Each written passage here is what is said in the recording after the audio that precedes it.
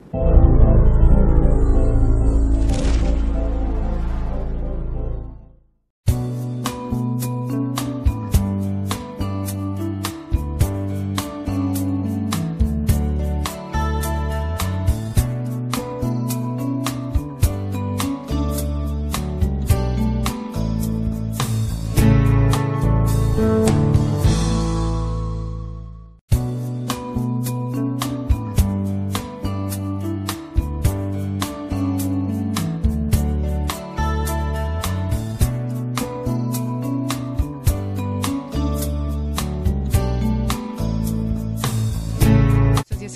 النهارده آه، حضرتك بتسلم جوائز آه، مصطفى وعلي أمين الصحفية وبنحتفل بمئويه مصطفى وعلي أمين.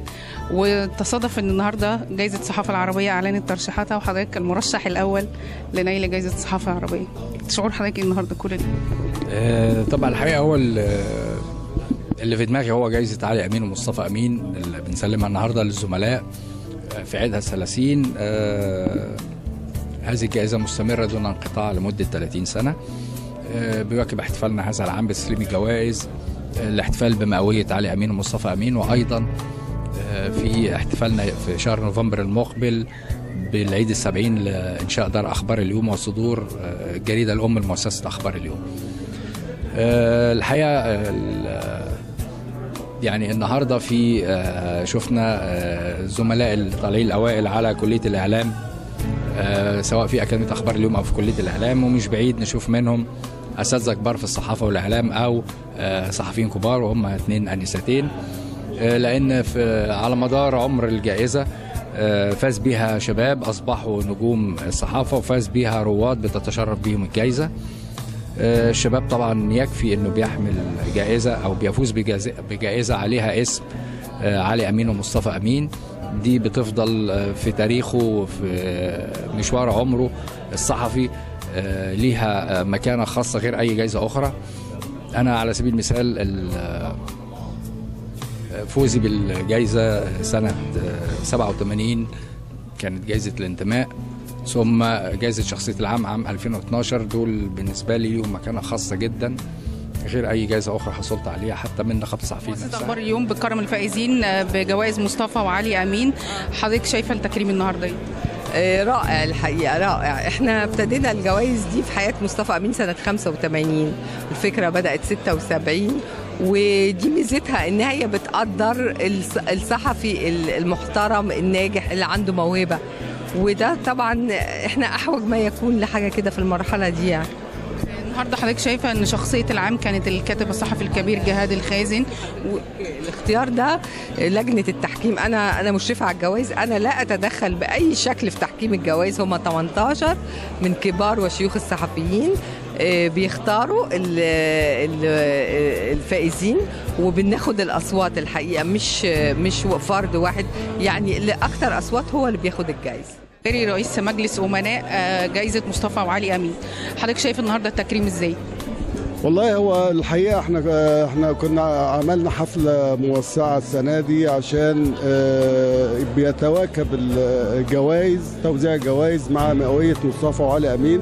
فكان لازم إن إحنا نعمل احتفال يليق بالمناس- بالمناسبتين في وقت واحد. وأنا شايف إن إحنا يعني الجوائز الحقيقة آه، بالكوكبة اللي فازت دي آه، دليل على الحياد آه، وجود شخصية عربية مرموقة زي آه، الكاتب الكبير الأستاذ جهاد الخازن آه، وجود آه، الفنان الكبير آه، مصطفى حسين آه، وجود آه، يعني آه، آه، مجموعة من الصحفيين من مختلف الجرايد يعني في من ال- المصري اليوم في من التحرير في من الشروق في من آه، كل المجموعات دي الحقيقة ده بيدل على إنه الج- الجوائز السنة دي كان لها آه، في منتهى الحيادية وكان لها طعم خاص. وإحنا إن شاء الله بإذن الله اعتبارا من السنة الجاية إحنا هن- هنطور الجائزه هنضيف لها آه، مجالات جديدة زي الانفراد الصحفي زي القصص الإنسانية و وهيبقى في جوائز أكتر وفي نفس الوقت هيبقى في آه، زيادة في آه، جوائز المالية اللي هي هتتقدم إن شاء الله. لأن فعلا جواز مصطفى وأمين آه، مصطفى وعلي أمين بتعبر عن أخبار اليوم كمؤسسة عريقة هم بنوها هم أدخلوا الصحافة الحديثة في مصر والوطن رانيا بدوي. النهارده حضرتك بتكرمي فايزة بجائزه مصطفى وعلي أمين للصحافة. ده الأول التكريم بيمثل لحضرتك إيه؟ تكريم آه، كبير طبعا وقيمته آه، لا تضاهيها أي قيمة لأنه دي أكبر جائزة صحافة في مصر بتحمل اسم اتنين من آه، عمالقة الصحافة اتنين من رموز الصحافة اللي يعني كان واحد يتمنى إنه يتولد في عصرهم علشان يتعلم على إيديهم ومع ذلك مدرستهم ما زالت ممتدة. ده أعتقد إنه نتاج لمجموعة طويلة من الحوارات على مدى سنوات أعتقد 12 سنة اشتغلت فيهم وتخصصت في فن الحوار الصحفي. و... والنهاردة إنه آخد أفضل محاورة صحفية أو أفضل جائزة حوار صح أو أفضل حوار صحفي عن مجمل الحوارات اللي عملتها ده في حد ذاته بالنسبة لي آه، شيء يعني مهما وصفت سعادتي مش هقدر مش هقدر يعني آه، آه، مش هقدر اوصف أوصف اللي أنا